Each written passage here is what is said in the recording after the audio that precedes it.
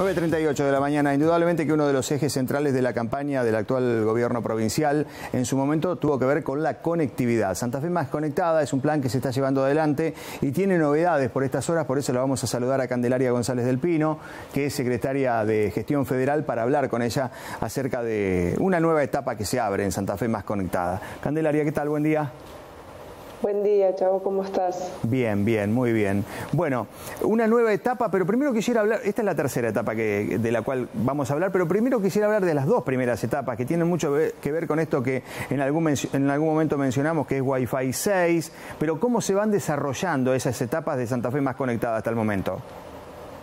Bueno, tenemos una primera etapa de los primeros 20 barrios populares en Rosario en Santa Fe. Eh, esa primera etapa ya ha sido adjudicada a, la empresa que licitó y ganó y a la brevedad van a estar llevándose adelante las obras que se requieran para poder eh, llevar Wi-Fi 6, como bien decías, a estos 20 barrios populares. Los restantes 114, porque si recordamos el programa Santa Fe Más Conectada, además de la red troncal, significaba también llegar, llevar Wi-Fi libre a estos 134 barrios populares de Rosario y Santa Fe. Entonces, la segunda etapa, que son los 114, están, ya se abrieron los sobres, están haciéndose las evaluaciones técnicas, luego se van a tener que hacer las evaluaciones eh, económicas para adjudicar esta obra.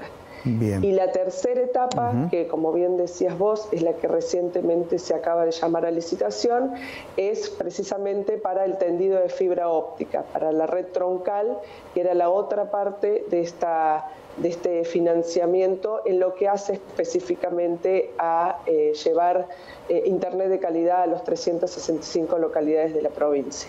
Perfecto. ¿Y cómo estamos con los tiempos, fundamentalmente con las dos primeras etapas?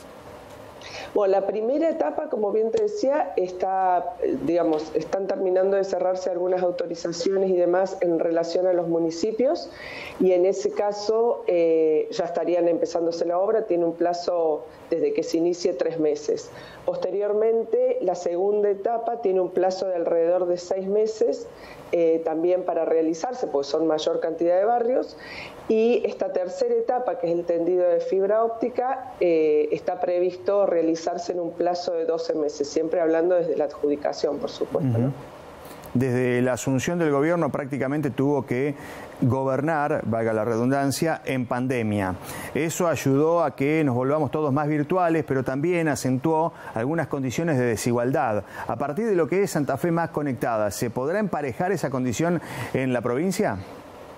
Bueno, es uno de los objetivos centrales del programa de Santa Fe Más Conectada. Precisamente tiene como dos grandes ejes, lo que es inclusión digital y transformación educativa, porque debemos recordar que este programa de Santa Fe Más Conectada también tiene un fuerte componente educativo. No es solamente el tendido de fibra óptica, la parte dura, si se quiere, de la infraestructura, sino también hay todo un complemento a nivel educativo, porque como bien lo señalaba el gobernador, tanto en las aperturas de sesiones ordinarias en el año 2020 como recientemente cuando firmó el contrato con eh, CAF y el contrato de garantía con la Nación, eh, las brechas son muy grandes y necesitamos acortar y generar mayores oportunidades.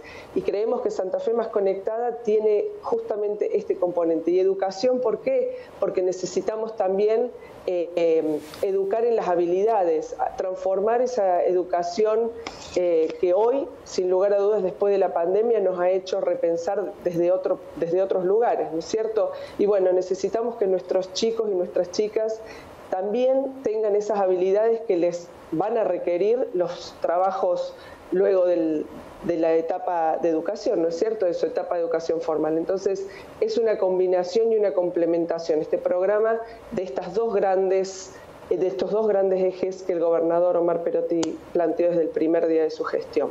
Indudablemente que es así. Y lo primero que asoman, eh, hasta inconscientemente, tiene que ver esto, ¿no? De la virtualidad eh, con la educación, pero también puede servir para, para otros rubros. No sé, uno piensa en la salud, en la producción, en todo. Totalmente. Eh, nosotros cuando planteábamos en su momento, hace muy poquitos días estuvo la CAF, la misión que vino a ver cómo venían todos los avances que veníamos realizando y cómo se van a llevar adelante el resto de las etapas de, digamos, de los otros componentes. Y justamente lo que se planteaba y lo que quedó bien firme en esa reunión fue todas las otras oportunidades que se abren a partir de tener un wifi, eh, perdón, al partir de tener internet de calidad en toda la provincia, sea a través de wifi o sea a través de la, de la fibra óptica. Y como bien decías vos, en seguridad, tener la posibilidad de tener conectadas todas las comisarías, de tener los puntos de videovigilancia activos y que puedan servir de, apoyo a la, policía. También tenemos en salud todo lo que es la telemedicina. También es, eh, permite el arraigo, que es otro de los ejes grandes del gobernador Omar Perotti, porque eh, queremos potenciar que quien nació en un lugar más alejado de las grandes urbes y quiere vivir ahí tenga las posibilidades. Y posibilidades como cuáles? Bueno, poder desarrollar su pequeño emprendimiento, poder mostrarlo al mundo, poder venderlo en otras provincias. Todo eso hoy se hace a través del comercio virtual. Bueno, todo esto ha tomado mucho más impacto a partir de la pandemia, pero nosotros queremos seguir fortaleciéndolo, queremos que cada persona que decide vivir y nacer y vivir en un lugar, allí se quede y tengas las mismas oportunidades de quien vive en las grandes ciudades.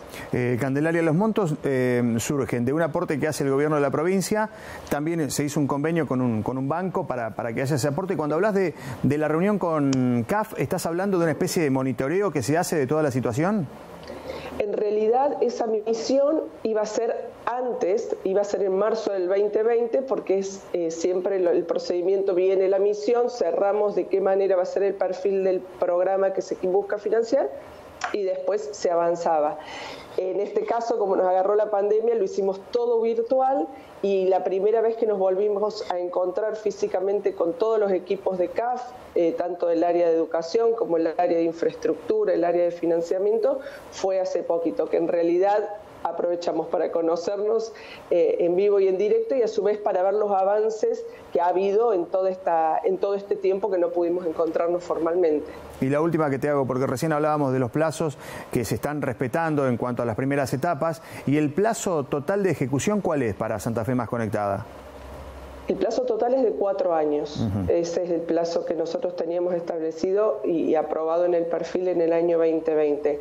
De todos modos, como bien sabemos, como se demoró mucho tiempo, perdimos un año en que se aprobara este financiamiento, se ha ido avanzando se fue avanzando, de hecho, porque los barrios populares de la primera etapa se, adjudicaron sin haber tenido, por ejemplo, todavía firmado el contrato con CAF. Pero bueno, esto fue un acuerdo en, el, en el entendimiento que necesitábamos avanzar lo más rápido posible sobre todo con estas grandes demandas en estos sectores más vulnerables donde, mira, cuando hacíamos la inauguración, cuando comentábamos de que se había llevado adelante, se había adjudicado esta primera etapa, lo poníamos en un ejemplo muy claro para todas las personas para que se entendiera qué significa Santa Fe más conectada.